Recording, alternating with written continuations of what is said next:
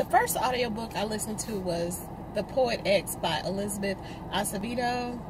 And it has been all over booktube. It is a story of a young teenager who is a twin and her last her first name starts X, hence the poet X, and she tells her story um, through verse, and it's very good.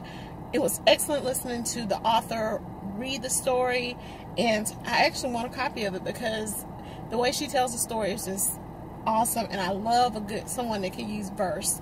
So it's it's really really good.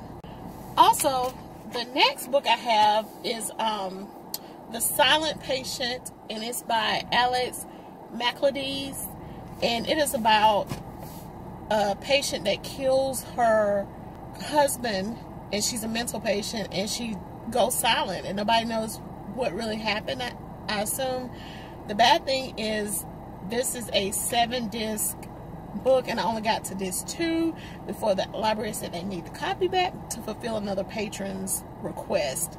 So I'm not going to get a chance to finish it. So hopefully in the near future I'll be able to check it out again. I'm sitting here in the parking lot of Walmart waiting to pick my mom up, but you know, anyway, older people just take their time. so I want to talk about, about this um, audiobook that I've been listening to, and that is Better Late Than Never, and it's by Kimberla Lawson Roby, and it is the final book in the Curtis Black series. Years ago, I had vowed I would never read another Curtis Black book, but when I saw that this was the final book, I was like, well, let me just go ahead and get caught up on the series. And she does do a great job of all the books I haven't read between, I don't even know which one I left off with. It's caught me up on the family. So, um, it, it actually goes back and gives a lot of the back history of why Curtis acts the way he does about certain things. And so you learn a lot about his childhood.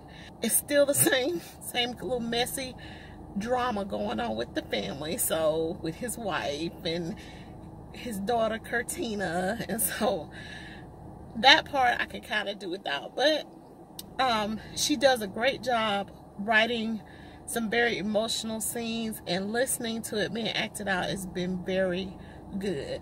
And so I would encourage anybody that's ever read started in that series to go ahead and take a look, you know, take a listen or take a read in the book for some reason my reading hasn't been up to what I I wanted it for the month. So I've been listening to a lot of podcasts. And so I've definitely been listening to the Stacks podcast. And it's about books. So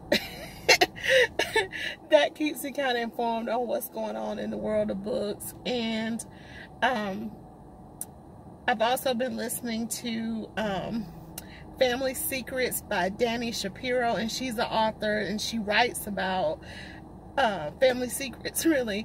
And I haven't read one of her books, but her podcast is fascinating to me because I am so nosy. And I'm sitting there listening to these people tell their family secrets, and I'm thinking, I thought my family had some mess, but other people got it too.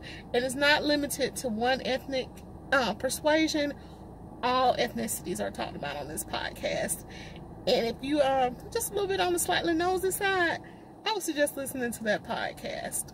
So I'm sitting outside enjoying the last of my lunch break. And this is another book that I've been reading for the month, Training School for Negro Girls. And that's by Camille Acker. I I'm just not a fan of it. The short stories are just not really saying anything or doing anything for me. And I think I'm actually going to DNF and just go ahead and turn it back into the library. Um, I remember looking at Michael Reed's video about this book and he didn't seem all that impressed by it either. And then um, I also read a um, arc of a book that's coming out and I'll put the publication date in the info, but it's called Atlanta underground and it is about how Atlanta was built on railroad tracks and um, how the city was just not planned and all it is has been continuously been doing is just building on top of these railroad tracks and this really coming to a head with the area called the Gulch in Atlanta right now. So it's a very timely book, and so it was very interesting. It had some nice historical pictures in it, and um, anybody that's a history buff probably would love that book. So that is my reading wrap up for the month. I hope that you all had a good reading month in August